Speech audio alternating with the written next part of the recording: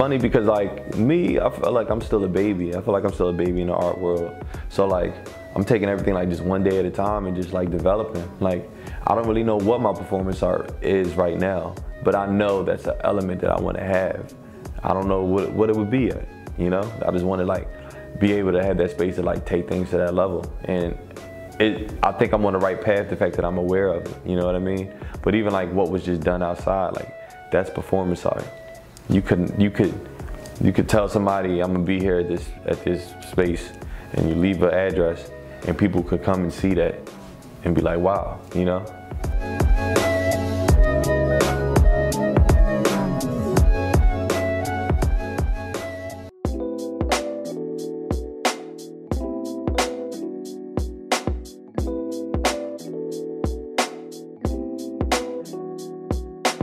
It's all about having like a language and I wanted to figure out how to have you know, my language or my my discourse or my my back and forth with the streets. Because I think, you know, for me studying street art, you know, I believe the uh, I guess the most prolific street art is street art that actually makes you feel a certain way or makes you have a certain type of like language or like discourse with it. You know, just like a regular person just walking down the street, like what captures their attention and not and you know I, I wanted to capture people's attention through visual art and it was just a thing of like how or like how can I do it?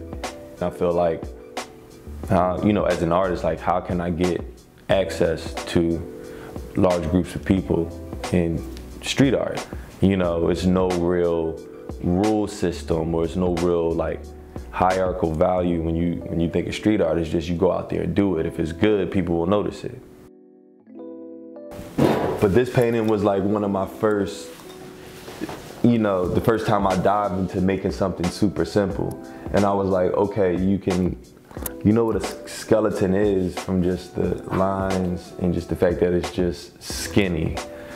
So I'm like, okay, how can I make something even more simpler than this? Because, you know, once again, we're dealing with street art.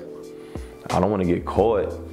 You know, it has to be fast. And that's why street art is the way it is. That's why it's so, um, you know, if you think of like a Banksy, it's, it's two hits. It's like one level, the second layer, and that's how you know it's him. So it got even more simpler than this. And what I understood was the language between the black line and the pink really makes it stand out. So that's why I started making the pink skeletons because of this painting right here, you know? The fact that I use the color pink so much in the skeletons, the reason why is because if you mix pink up, like if you add whites to certain things, you can get more of like an olive color that would be more of like a Caucasian, like European. If you mix lower, you know, more darker tones, reds, you can get to like a brown. You know what I mean?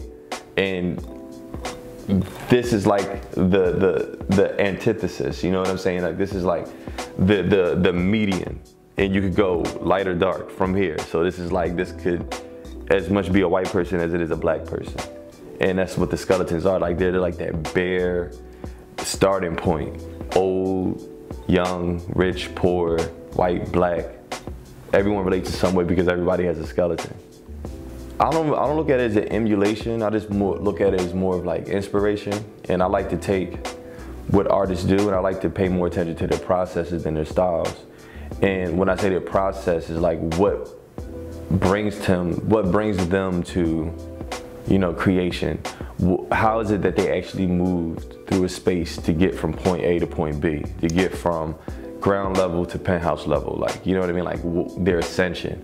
I'm more so pay attention to stories like that, like the ascension, because I feel like that could help me be a better artist more so than it is like paying attention to like their styles or like, or like, eh, or even why they do what they do. It's more so like, how can I take my reasoning and take my reasoning to the next level.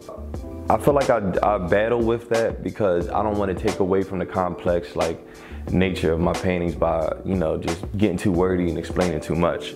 But I feel like times is needed just because we try so hard to be relatable and just simple and keep things simple for people. You know what I mean?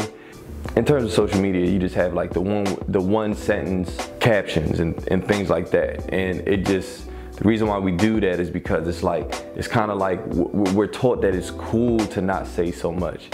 the mysterious. So that idea, that mysticism of the work makes the consumer assume that it's cool because I didn't really tell you much about it. But it's like, do you actually know what it means?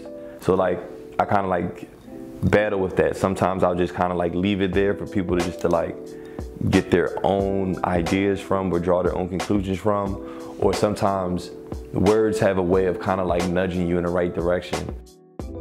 My responsibility is to move the culture forward and create my own custom conversation eh, within within this bigger conversation that we cannot control.